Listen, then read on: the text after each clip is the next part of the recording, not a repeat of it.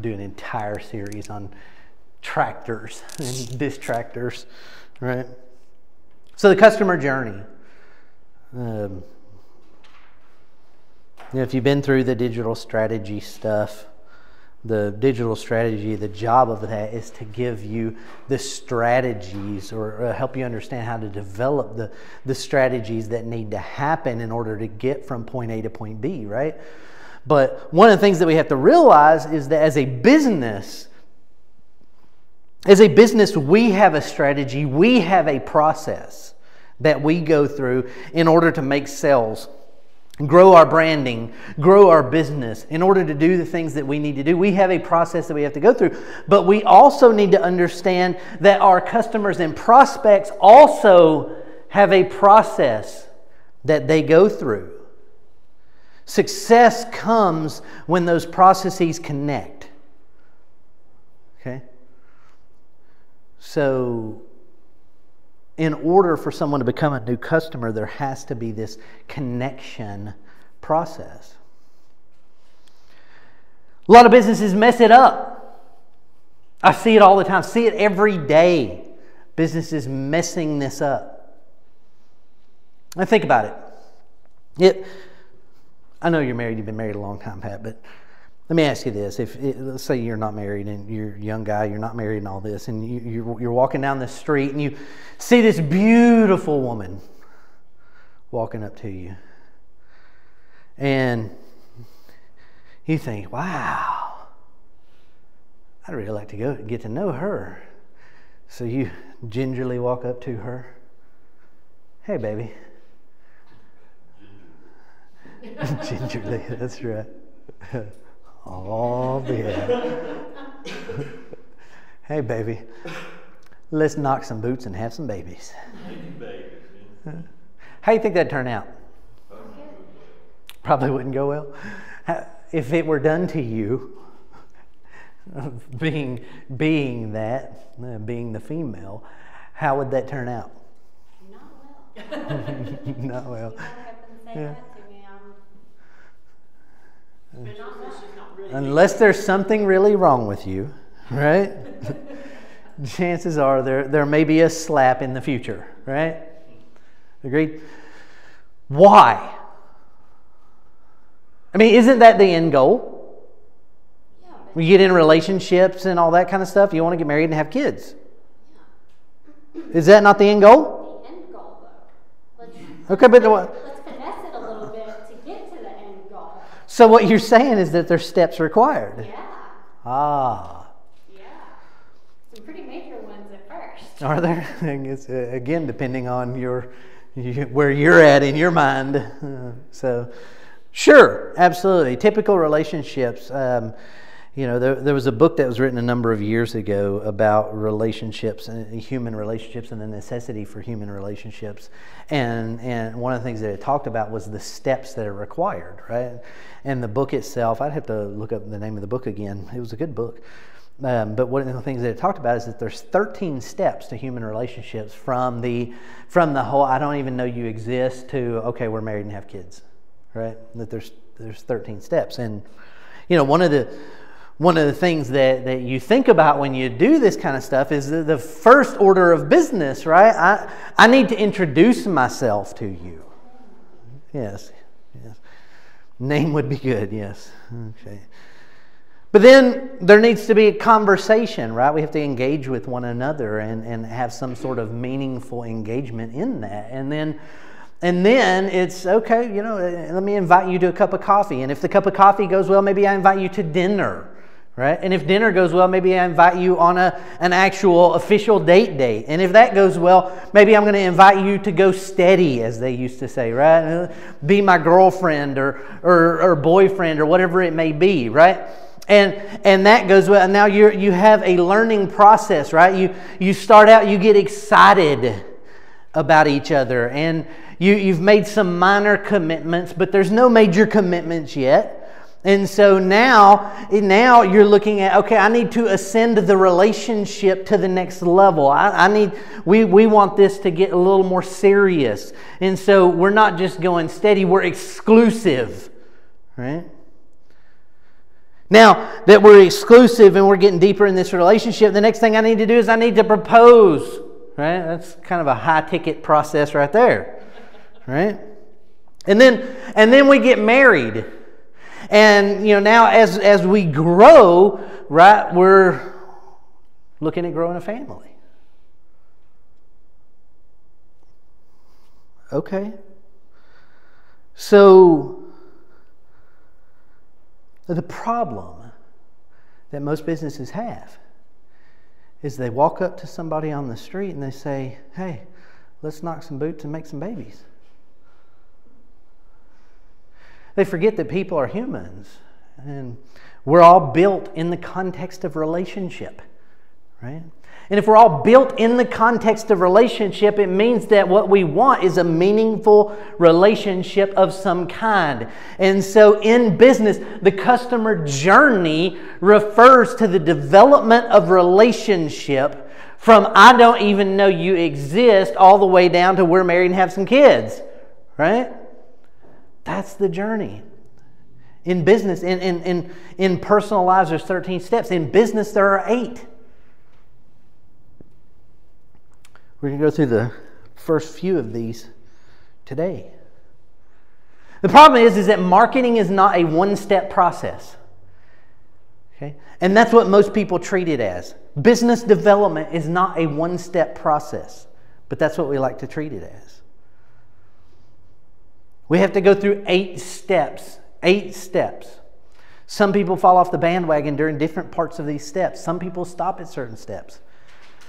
But an intentional business will intentionally develop the steps in a way that they can get as many people as possible through all eight. Step number one is awareness. It's awareness. Meaning you lose 100% of the business from people that don't know you exist. A person has to be aware that your business exists before there is a possibility of them doing business with you. So we have to generate this awareness first. You think about it. Generating awareness. A, a, a, dad sees an ad on Facebook for a, a new children's music camp, right? He wasn't aware before that ad popped up that there was a music camp, right? But before he could enroll his child in that music camp, he has to first be aware that it exists. That's an example of awareness. An office manager who's Google searching for some new place to buy paper, right? That's awareness. I know I need it, but I need to become aware of where to get it. A college student who's watching a video on Instagram of one of their friends just raving about this new brand of earbuds that they got. Right? It's brand awareness. Awareness has to happen before a purchase can happen. It is impossible for you to make a purchase without awareness. As a brand, it is impossible for you to make a sell without awareness.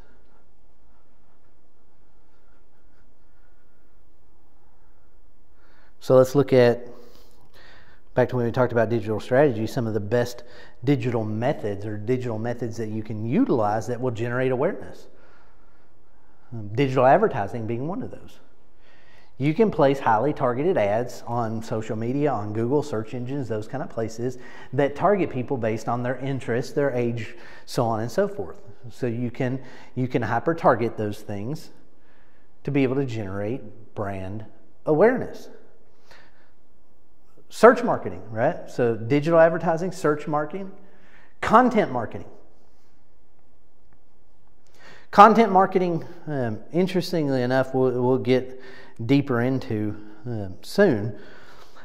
But content marketing, the first thing that, for most people that comes to their mind is like writing blog articles and that kind of stuff. But there's more to content marketing than just writing blog articles. It's any content that you produce, right?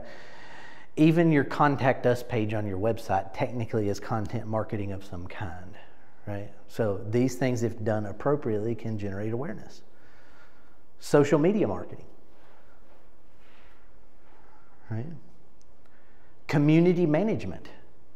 By community management, I mean things like posting on social media, things like emails, dealing with that kind of stuff, dealing with the people who, who are already interact with your brand so they can bring more people in to interact with your brand. Right? And copywriting. Copywriting is another marketing aspect that can help generate brand awareness. Now, after a person is aware that you exist, step number two is engagement. Right? Remember, I said let's let's not do the whole uh, knocking boots, making babies thing. Right?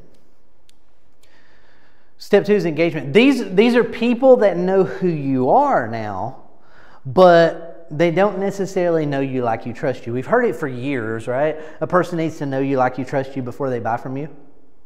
Right? So they are aware that you exist, but they don't necessarily know you like you trust you just yet. So the next step is to start developing that relationship.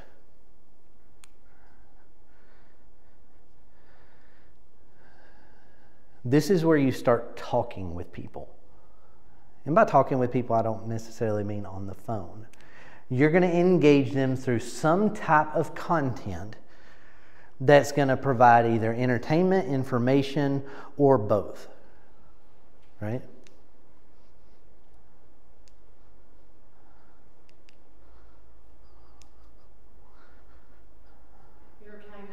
Information or both.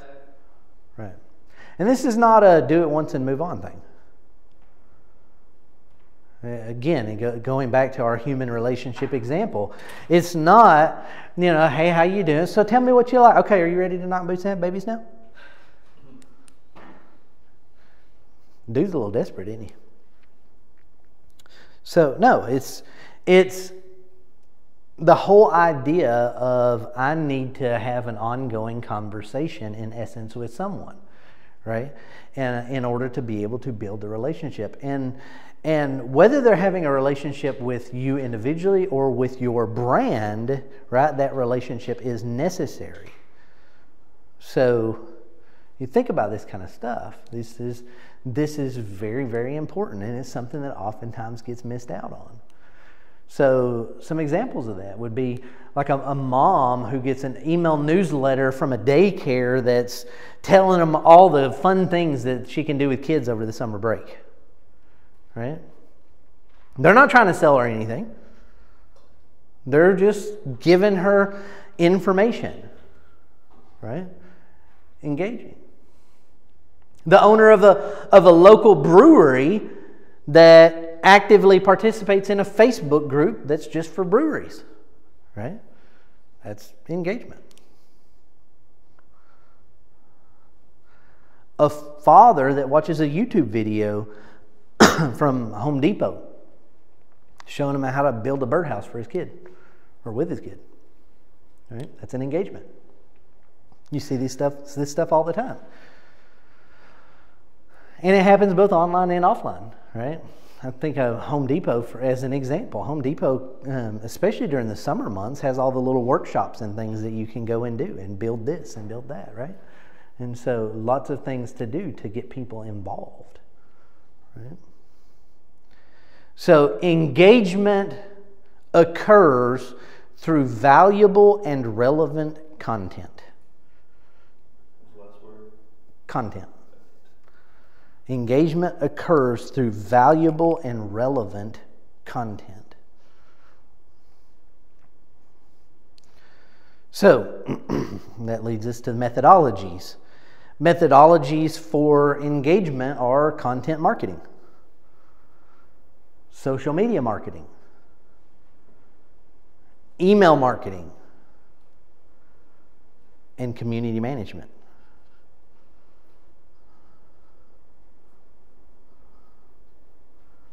What was the first one? Content marketing.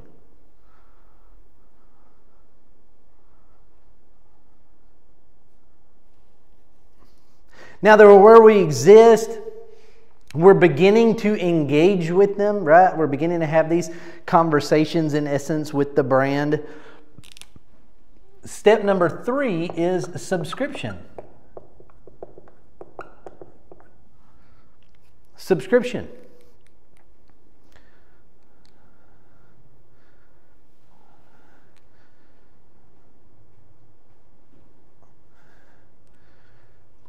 In essence, in marketing, um, you know, this the, the person they they're aware that you exist. They've engaged with your brand a little bit, but one of the things that we often fail to do is we fail to get people's contact information, right?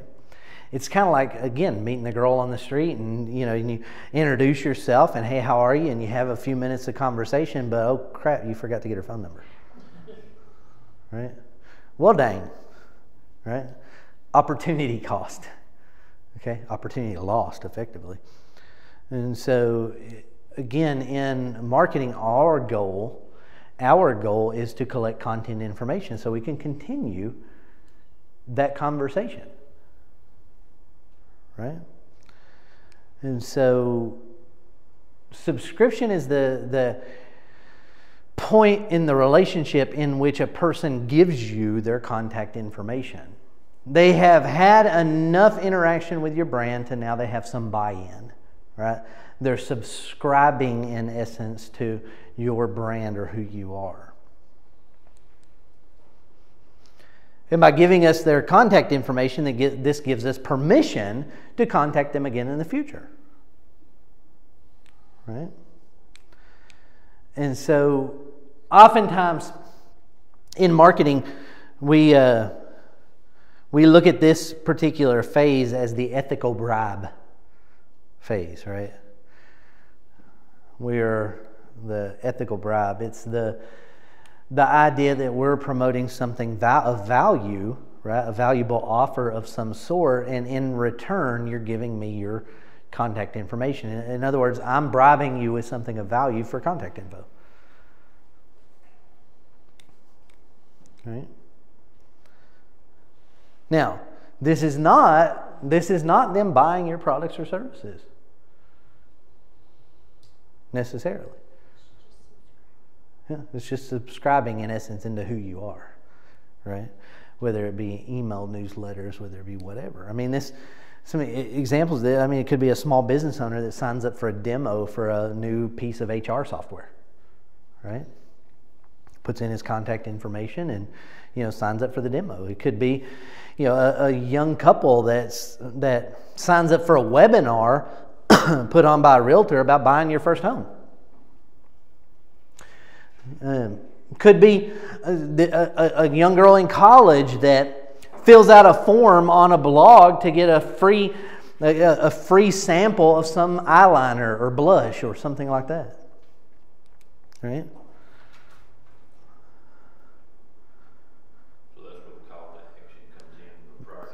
That's where the call to action comes in. Yeah. Prior to a call to action, though, you need to have engagement, right? You have to have awareness and you need to have engagement. And so again, the types of um, types of marketing methodologies that generate subscription are content marketing, right? Email marketing, digital advertising, community management, Copywriting. It all has to be done well. Conversion rate optimization. Right? That's a new one.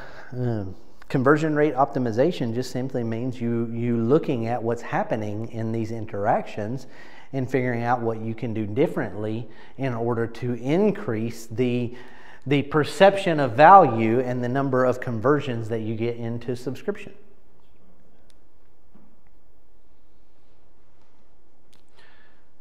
Step four is conversion. Conversion. And this just says that if, if some of your subscribers continue to be engaged at some point, they will begin to be ready to increase their level of commitment. Right? You've had coffee. Right? You've had dinner. So now are we ready to increase our level of commitment? This is where they actually begin to trust you, and it shows. So, this person is now ready to increase their level of commitment, and they will do so in one of two ways. They will increase their level of commitment in time or in money. Right? Only two things in life you can spend time and money, both are of value. And I know we're, we're gonna go through all eight, but, and I guess it depends, um, just like in our, our relationship. So there's not a set, uh, set amount of time that this happens, that it could happen in, uh, or could happen in one day? All of this could happen in one transaction. Gotcha. Okay. It's possible Right. for all of it to happen in one It- it transaction. Depends on the personality of each person. It depends on the it depends on the personality of each person and where the person is in their buying process, where they are in their level of awareness, um, prior to an, uh, an awareness of you, That makes sense. right? For us, a lot of times, it's because they have an emergency. Yeah, So it kind of for what you do, yeah. It speeds up the process, right? But there's a lot of ways that you can mess that up. Yeah, that's kind of where I'm at with it. Because I'll get that urgency, and then for you, you've already got the purchase, you've already, I mean, within moments, I mean, it's, it's a short amount of time. And they're already, they've already purchased, they've already obtained their, they've got the subscription, I've got in the, the CRM, and then from there, that management of that relationship sort of management of that relationship, but you also have to understand that in those types of that's an e-commerce transaction. In that that is and for a large percentage of your people will be the only transaction they will make with you, right? Unless you do something to facilitate more than that. That actually is a conversion, which when we get to further down the road, we'll talk about ascension, which is what's necessary in that particular manner in order to be able to get them as repeat buyers. Right? For most people to understand, you know, they need to understand that conversion conversion is a purchase. Um, it- it's a commitment of time and or money. So it may be a one-time time transaction to try you out of buying a product or service that you have, but it also may be just spending some time with you, getting on the phone, just saying, "Hey, you know, let's let's chat. Why do I why do I need to trust you?" Right? What do I need to get out of you? It may be a, a consultation, right? So, in like the cleaning and janitorial world, it may be someone going from, okay, I've seen all this stuff, let me call to get a quote. Right? So, they're going to spend their time with you on that. And so, this is this is the important part because this is the initial customer acquisition transaction. Okay? And remember, we can acquire customers with time, not just with money. A lot of times as business, we focus on people um, have to spend money in order to be a customer. They have to spend money in order to be a customer. But you know, one of the things that I've done in the past, and I haven't done in a while, probably should look at that again. But I've run classes, right? Free classes that the general public could take, and I target people within certain markets and so on and so forth. And I do that so that they can spend time, right? I give something of value, they're buying into it, and then we're spending time together to build that relationship. And often cases, a percentage of those people will then become customers, right? That's actually how you became right, a client. And so that's that conversion process, okay? Now, it's the reason why you know companies like GoDaddy will give you a domain name for two dollars and ninety five cents, right? Because they understand that the most expensive part of your business is going to be customer acquisition, right? It's always more expensive to get a new customer than it is to retain an old customer, right? So, um, VistaPrint does, you know, you get 500 business cards for like seven, eight, nine dollars, whatever it is, right? They know they're going to lose money on that deal. Okay? They're going to lose money on that deal, and it's okay. for them to lose a little money on that deal because they're going to get you to buy in, in essence, as a customer. Then they can focus on ascending you into additional purchases, you know, and, and things that they want you to do, right? So the goal is to get of the conversion is to get a new customer. Okay, profits we're not concerned about at the moment. Profits come later. We just want to get someone as a customer. Okay. So uh, some examples of this could also be uh, a, a, business owner, small business owner, buying a, a business management consultant's book for eight bucks, right? Okay, you know this guy maybe may charge hundreds of dollars an hour right? But they're going to buy his book for eight bucks. Well, they bought in. Now they're a customer of some kind, right? Um, children of elderly parents taking a tour of a retirement home. Okay? They're buying into it.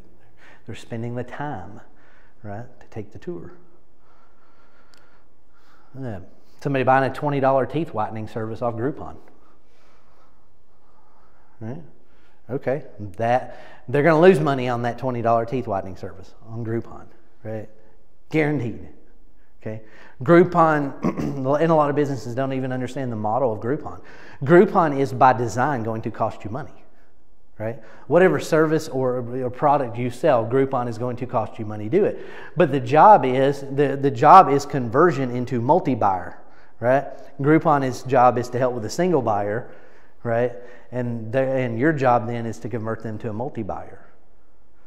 So the goal of that transaction, whatever the initial transaction the conversion step is, is not to make huge profit. It's just to get them bought in, right, to who you are, what you do, right? Get them as a customer. And so, again, digital marketing processes that generate conversions. Digital advertising, content marketing, email marketing, um, copywriting, search marketing. These are all things that generate this stuff. Now, notice one of the things that I did not directly say is website on any of these steps. Content marketing includes your website, but your website can have multiple purposes and should participate in multiple steps. Okay? So, as we get deeper into all this, the one thing I want you to think in your mind is that a website is, is the hub, right? Your other processes should have spokes that come out of the hub, but they're not all independent, right?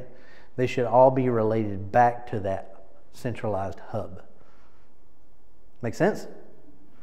All right, so next time we'll get into the other four steps of the customer journey and what's required in order to get these high paying and frequent customers.